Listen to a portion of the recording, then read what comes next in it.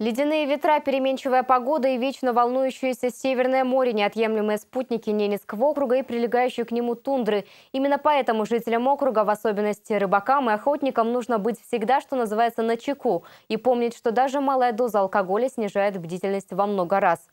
Отправляясь на рыбалку или охоту, стоит помнить, что и река Печоры, побережье и тундра – это место не обитания людей, это территории, где возможны различные катаклизмы и где могут встретиться дикие звери, поэтому у человека должна быть зона личной ответственности. По статистике мы э, посмотрели за последние там 2-3 года, да в принципе все время так было.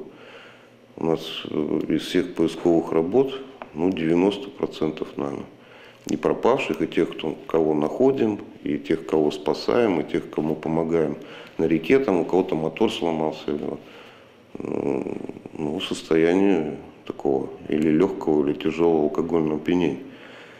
Ни в коем случае алкоголь он не уменьшает риски, он его кратно увеличивает. И реакция человека на то, что происходит, она замедляется. И реакция на то, как действовать в каких-то создавшихся, она тоже замедляется. Поэтому это повод сказать, что берегите себя. И мы сколько раз уже обращались и к родственникам, э, которые присутствуют и при сборах там, на вот эти охоты, рыбалки. Вообще присутствуют в жизни вот наших рыбаков, охотников. Берегите своих родственников. И тем не менее люди продолжают пропадать. Так, 17 сентября в районе Урдюжского озера в Коткино пропал Максим Безумов, 1980 года рождения, о чем родственникам стало известно в понедельник, 19 сентября вечером.